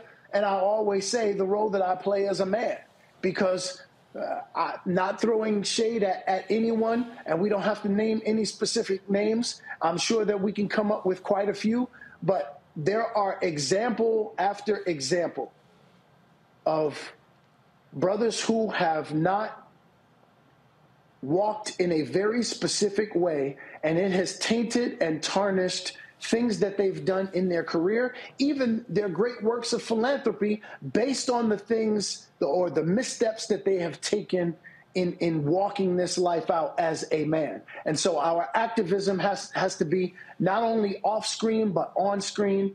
And those are some of the greatest lessons that I took from Brother Sidney's life. And I'm so glad that you, you know, you intertwined both Brother Harry and Brother Sidney, you know, because they are great examples that I look to every single day about how I better walk my life out every single day. Dondre Whitfield, I appreciate it, brother. Thanks for joining us on Roland Martin Unfiltered to honor Sidney Poitier. Love you, brother Ro. I appreciate you. Appreciate it as well. Thanks a lot, my brother. Say hello to the wife, Sally, and to uh, that golfing son of yours. Yes, sir. All right, then. Folks, uh, Tim Reid, comedian, actor, director, producer, studio owner. He's done it all. He joins us right now, uh, right here on Roland Martin Unfiltered. Tim, always good to see you, my fellow Alpha brother. Yes, brother. How are you? I'm doing great. Just uh, share your thoughts and reflections about Sidney Poitier. Well, we we lost a giant, and we gained an um, an ancestor. Um, I loved him. Uh, the first time I ever had an opportunity to be in a film, even very briefly, was Uptown Saturday Night, and he cast me in a very small part, the opening of the credits. But just the short time I was with him, and over the years since I've had the pleasure of seeing him or having a chance to talk to him, I always walked away with a sense of of this is what it's like. This is the grandeur you know, he has gravitas. This is the kind of person that I want to pattern as much of my life as I possibly can as a as a man, not just as an actor. Um, he and Harry and those kinds of people. You know, for a little colored kid uh, raised in segregation and dreaming upon dreams, seeing these people on television, and then having the pleasure to sit next to them and talk and meet them has been one of the greatest uh, blessings that I've had in my life. The you mentioned um, that comedic role of his that he also directed in, uh, and, and, that's what I, I also uh, just loved about him. Again, you, you, watch people talk about the serious roles, uh, but when you look at those movies, uh, him and Bill Cosby together uh, were absolutely hilarious. In fact, I, I do I do want to um, read this. Let me know if you guys have uh, the graphic. this was the statement that was sent to us. Um, from the publicist of uh, Bill uh, Cosby. He said he was honored by AFI and along with many stars of stage and screen politics and higher education who came out to speak. I brought with me the paperback of his autobiography and I said of all groundbreaking movies that Sidney starred in, this book is the real story of this man and his journey. I am honored to have been close enough to him and work on serious matters. The two of them in those trilogy of films, uh, two of them obviously extremely funny. One funny and funny and and, and serious, uh, but we got to see the comedic aspect of Sidney Poitier. Yeah, he had a great sense of humor. I mean, uh, you know, we, we always see him and think of him in these serious roles, but person to person, um, you know, he, he had a great sense of humor and he was fun to be with.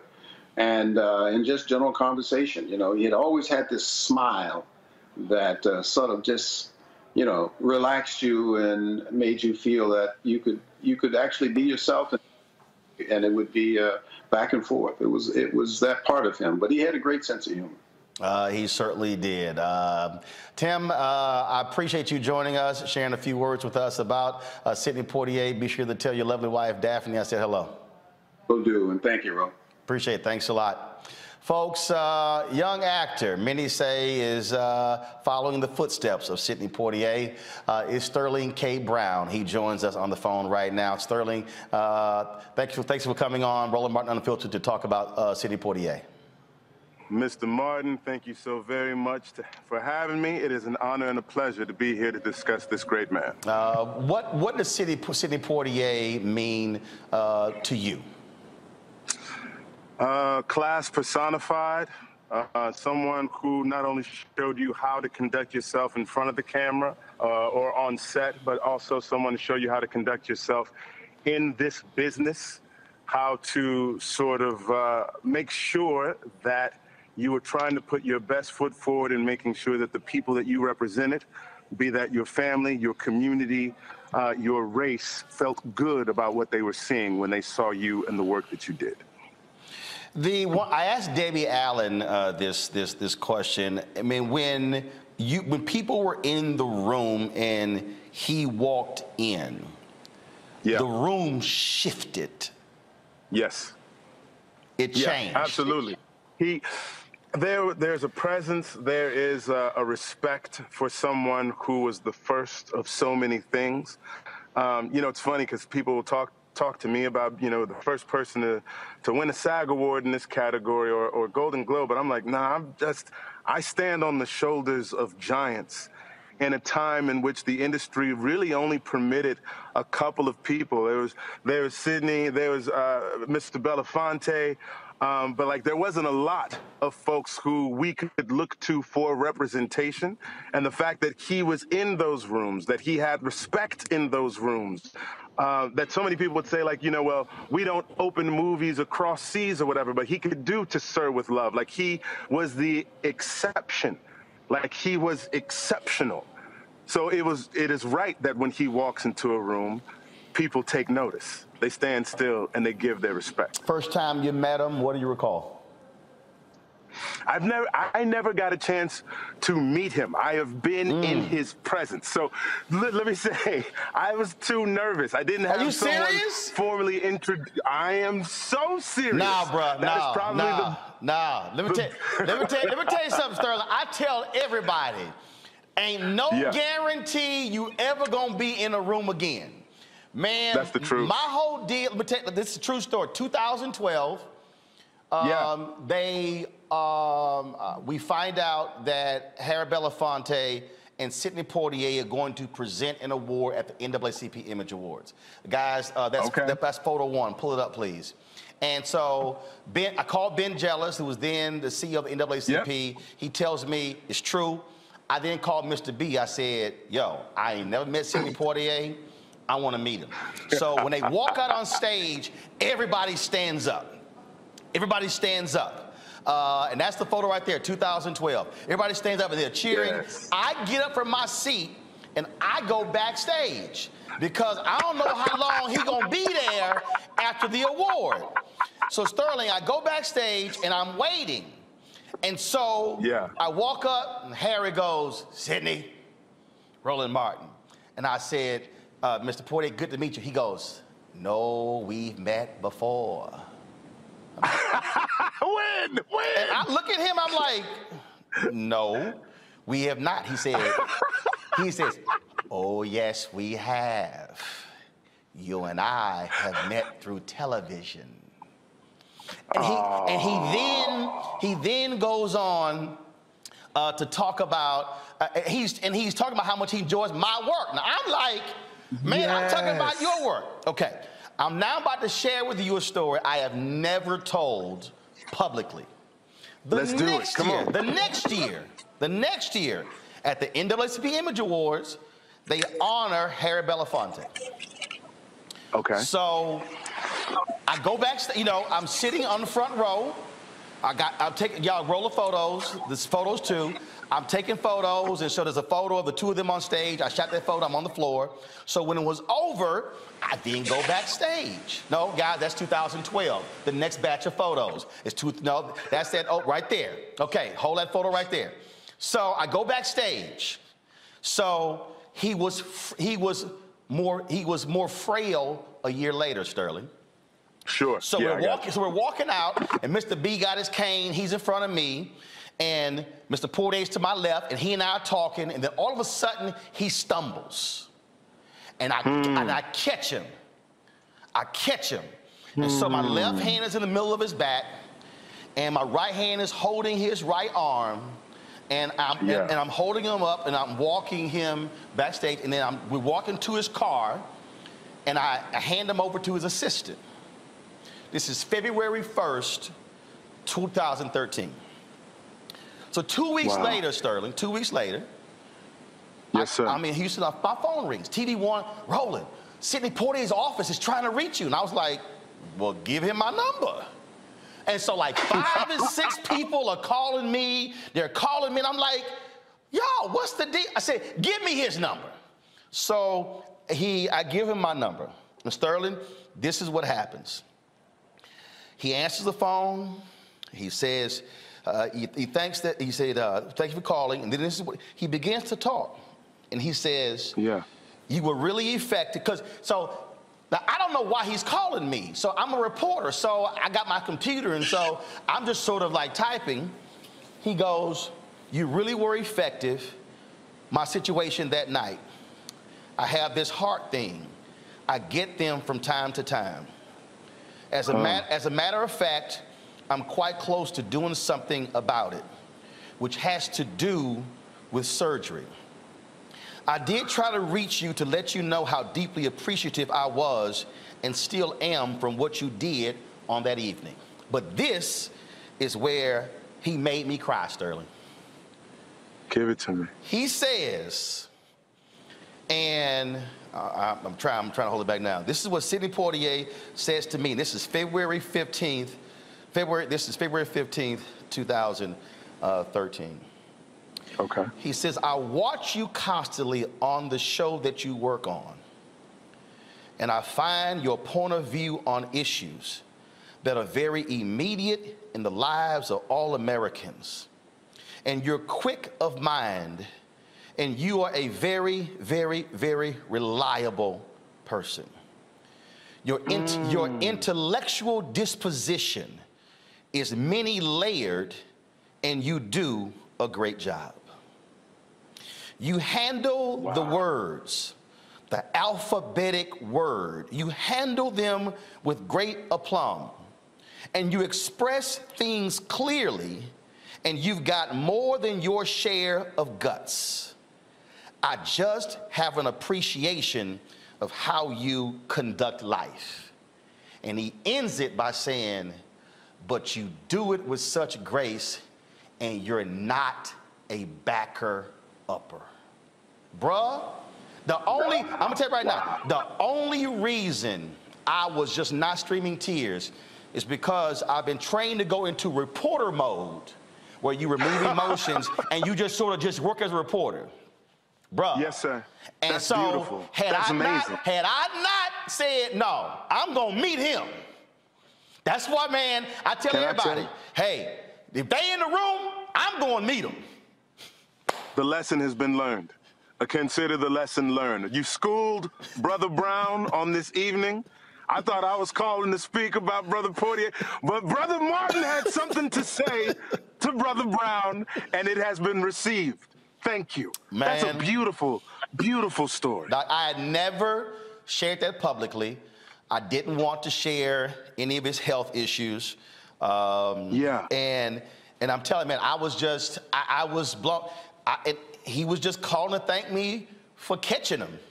And he shared that. And, and Sterling, I, I, I can't even just, brother, I just, you know, and he, that's how he was. And so if y'all showed a photo, the last time I saw him from the Oprah event, is we did the Legends Ball. Uh, Selma came out. This was uh, December 2014.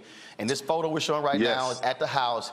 And so when uh, they had a, it was a brunch, and I saw him, and again, he's this tall, big man, and he sees me, and he just throws his arms out, and then just hugs me, and this smiles on his face, and then we took this selfie right here, and man, it was just, it was just, man, amazing, just man, just to be in that brother's presence. I'm telling. Listen, the, I'm still struck by the words that he used in describing you because those are words that I would use in describing him. And to have someone like him who embodies all those things, and for him to see them in you, I'm I'm I'm crying for you. You can be a reporter. I'll, I'll shed a tear too on your back. It's beautiful. My brother, man, I appreciate it. Uh, again, he was um, he was a giant. He'll be missed, but Yes. uh, with his books, with his movies, you know, with the TV shows, all of that, we have a whole lot uh, uh, to share with future generations about Sidney Poitier. Amen, brother. Thank you for having me, Mr. Martin. I'll talk to you soon. I appreciate it, my brother. Tell the wife I said hello. You got it. All right, Peace. man. Take care. Um, Greg Carr, we're almost done uh, with this tribute. Um, uh, we're going to chat with Reggie Hudlin in, in just a moment. But I, I, I'm telling you, Greg, I, it was, and I'm a firm believer in that. It, I don't care who it is. I'm gonna get to them. I'm gonna say hello. I'm gonna shake their hand. I, I mean, it don't matter. I, I, I hey, I mean, I, I, I there are people. I, I, I, I, I'm, I'm in awe of them. I see them, but I never take for granted that you might be in the room with them a second time. Man, if you got that, I tell everybody. This is what I. In fact, in NABJ, Greg. You know, I've been since 1989. We were founded in December of 1975. I remember one year I got the President's Award, and I stood up and I said, I said, y'all, I said, y'all, I'm an alpha, and we have, there's never an event where we never recognize the seven jewels. I said, we should never have an event where we don't recognize the 44 founders of NABJ, because many of them at the time were still living. And we're mm-hmm. losing them. We're losing many of our, our founders as each year go by. And so I say to everybody, when you come upon an elder, I don't care where I am. If Andrew Young is there, Reverend Jackson is there. Um, I mean, I, when when C.T. Vivian was alive, when John when when John Lewis, I don't care. I never took for granted that I was in the same room with them. I always walk up to them and pay homage. You have to. And you just gave us a master class in how to do it. While everybody's standing on their feet, you make a beeline to backstage because you know he's not going to be sitting there for that whole thing. Th- That's the technique, brother. That that's born, that's born from experience. Uh, my my mother, uh, Fisk gave Mr. B an honorary degree. Your now the faculty you're on, and uh, she stepped out in the middle of commencement was like, "Give mother a hug," because like several generations now of black women, not just black women, but I'm thinking now about black women. Uh, Harry Belafonte and Sidney Poitier were their imaginary boyfriends in their mind.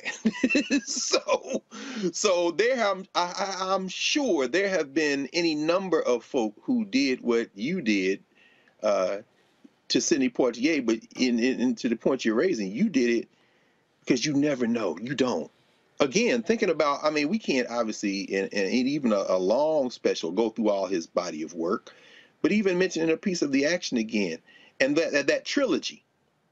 Um, you know, folks, again, White Stream Media will mention, you know, in the heat of the night, they call me Mr. Tibbs, the organization, that trilogy, but that trilogy of Uptown Saturday Night and a piece of the action and Let's Do It Again, it it was Poitier's comedy, but he played the straight man. Right.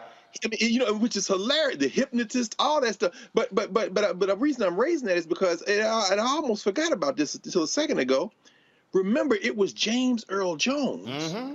who forced Cosby and Poitier to go teach those kids in a piece of action, and that made me Right. wait. James Jones is still here. Yes, I mean, he so you, you never know. In That's fact, the year. in fact, I've never, I've never been in the same room with James Earl Jones, and I, I, I, I seriously, I have. I'm like, yo, I, I never got to meet Ossie Davis, never got to meet Gordon Parks, and I've always wanted to meet James Earl Jones. We, we- I've never been in the same room with him, uh, and again, that's why that's why I said this earlier. I, hey, man, I don't care. I'm telling you right now. If I'm telling, hey, I'm telling you right now, if if I was on the streets of D.C. Yes, sir. And James Earl Jones, when I saw he was getting in the car. We already know. I would stop traffic. Hell no, y'all ain't moving. I'm Oh, gonna there's shake, no I'm shake your hand. I ain't. Uh-uh. I, I was in the middle. of Traffic will stop.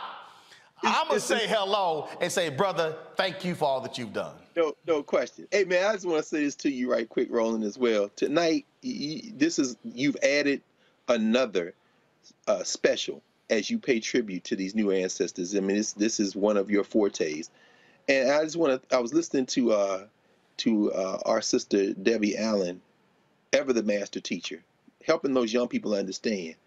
And I just wanted to say to you that this intergenerational convening, particularly when you had Brother Whitfield and then Sterling Brown on, Sterling K. Brown, you know, it helps us understand that we have an obligation to share with young people who these folk are. And, you know, maybe those children in Debbie Allen's class today may not have heard of uh, Sidney Poitier before today, but they were impacted by him, even in ways we might not think. Remember, um, was it Let's Do It Again, where they, you know, had Jimmie Walker and all them? Remember the two characters, John Amos, Brick Yep. City's John Amos, Yes, sir. played 40th Street Mac, and Calvin Lockhart Yep. played a character named Biggie Smalls. Yep. Now they don't. Now these young people don't even realize that that name came Right. out of Sidney Poitier and Bill Cosby, and There they, they would never associate. It's just man, it just. But tonight, there's no, there's nobody else is going to do what you did, brother. They're going to be tributes pouring out from, and they are from everywhere. But tonight, this is black folks to the world, not just for black folk, but to the world. But it's unique, brother. And I want to thank you for doing this. Man, I appreciate it. Uh, I sat there today um, and I watched uh, mainstream news.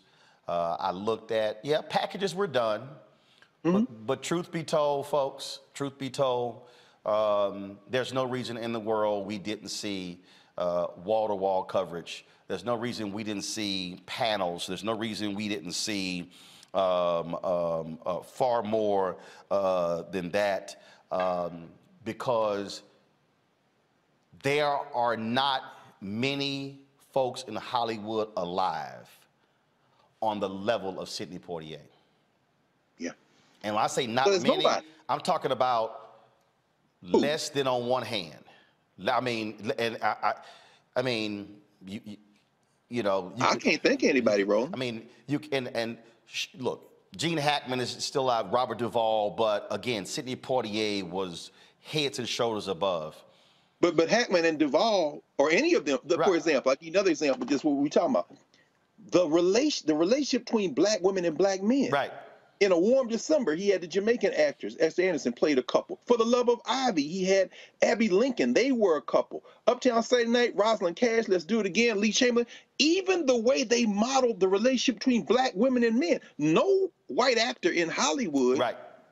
did that. I, I can't think of anybody, Roland, quite frankly, who would take a seat to it. You're right. They should be. This should be wall to wall. So I want everybody to understand when you hear uh, Greg's brother, uh, Reverend Carr, say in our promo, "Bring your eyeballs home." Yes. Tonight is the is a prime example of why Roland Martin Unfiltered was created after TV One canceled News One Now, and it's a prime reason why I created Black Star Network. Folks, there is no other place. We our tribute began two hours ago on Sidney Poitier. I can't even tell y'all the people who I reached out to who couldn't come on for a variety of reasons. Run the list down, I reached out to them. And so this is why, again, what does that Freedom's Journal say? We wish to plead our own cause, too long have others spoken for us. Mainstream media is not giving Sidney his just due today and tonight. but that's why we did this. Be more next week. The others who are still reaching out. People have been outpouring on social media. But I want everybody watching to share this video because what you heard tonight from all of the folks here, the people who met him, the people who didn't meet him, was someone who is, again, Hollywood royalty, who is an icon, who is a history maker. He was an actor, he was an activist, he was a director, he was a diplomat, he was a proud black man. And so I appreciate everyone who joined us tonight to pay tribute to the life and legacy of Sidney Poitier. Uh, there will be more. Uh, I did, didn't realize that. Uh, we got one more. I didn't realize that he was on. Actor, Mr. Sheed. Isiah Whitlock, how you doing, Doc? How you doing, man? I'm all good. Uh, just uh, share with us. Uh, you, you, you take us home. Uh, share with us your thoughts uh, about the great Sidney Poitier. Uh, you know, it was it was very heartbreaking when I heard that he had passed away today, and um, it was very sad. A lot of lot of emotions and things uh ran through my whole uh, body about when I first uh, started watching his films, inspiration he was to me as far as my career. Um, watching uh, Guess Who's Coming to Dinner with my mom and a Studebaker Lark at the drive-in uh, really made me want to be uh, an actor, and uh, it was it was incredible. Um, the inspiration that he had for me, not just for me, but for other actors, and um, uh, I, I, I was, I, I, was, I was stunned, but um, we all got to go, I guess. Um, absolutely true. It's a, it's a question of how we live our life. Uh, and mm-hmm. the reality is, I, I, heard a, I heard a preacher once say, um, the hardest eulogy to preach is that of an irrelevant Negro he said it's hard to preach a eulogy of somebody who went through life who left no fingerprints and left no footprints. Uh, yes. and, and, and, the reality is, uh, even though uh, Sidney uh, is now an ancestor, um, the body of his work is mm-hmm. what will live on. So the reality is, Sidney physically is no longer here, uh, but he will always be here. Yeah, he, he will never, ever be forgotten. Uh, some of the roles and things like that were just iconic, and uh, uh, and the people that he touched, uh, and he was kind of like he was kind of like the brown uh, the uh, groundbreaker. I mean, he, he was when I remember Sidney, he was all we had. That was all we had. there was not much more, and so to see him in the multitude of films that that he was doing. Uh, I mean, you had a few others, but there was no one like uh, Sidney Poitier, and um, uh, I was I, I, just feel very blessed that I lived in a time where uh, I could see him work. I never I never got a chance to meet him, unfortunately, but um, uh, I feel blessed. Indeed. Well, Isiah, we appreciate your work and all that you do, and we certainly thank you for joining us to share a few words about Sidney Poitier.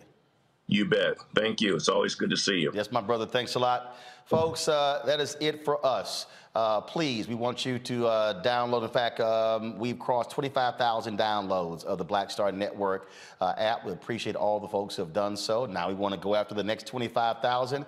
Uh, and so please download the app on all available platforms uh, Apple phone, Android phone, Apple TV, Android TV, Roku, Amazon Fire Stick, X Sony, excuse me, Xbox, and also Samsung Smart TV. We also want you to support us in joining our Bring the Funk fan club. Your dollars make this possible for us to be able to hire the staff and the, all the folks to, to, to do this. And so uh, we talk about uh, having to put together uh, in a, a, matter of a few hours a tribute like this. It is not easy, uh, but this is the business that we're in. And so you can support us via Cash App, which is R Martin Unfiltered. PayPal is uh, PayPal is R Martin Unfiltered. Cash App is dollar sign RM Unfiltered. Venmo is RM Unfiltered. Zelle is roland at rolandsmartin.com, roland at rolandmartinunfiltered.com. Greg Carr, always a pleasure. Uh, you uh, joining with us, uh, sharing your historical perspective uh, when we uh, when we lose one of our elders, when they become ancestors. Uh, and folks, again, we hope you share this video, spread it around. Um, people spend a whole lot of time. It's amazing when I see them sharing lots of clips of stuff they see on CNN, on MSNBC, shows that other black folks host. but share this, spread this, send folks this tribute. Uh, we'll be restreaming this all weekend as we continue uh, to show our appreciation for that great Bahamian, uh, the brother like no other, who said, Call me Mr. Tibbs. Nope. In fact, we call him Sir Sidney Poitier. Folks, we pray for his family. Thanks a bunch. We'll see you on Monday. Have a good weekend.